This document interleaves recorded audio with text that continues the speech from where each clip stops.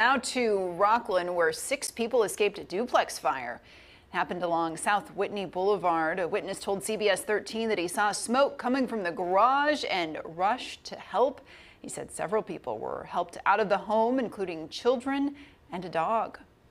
Smoke pouring out, pouring downstairs, and I had to run upstairs to get the girl and the dog. Two adults, four kids, and the dog now have to find a new place to live. What started that fire still unclear.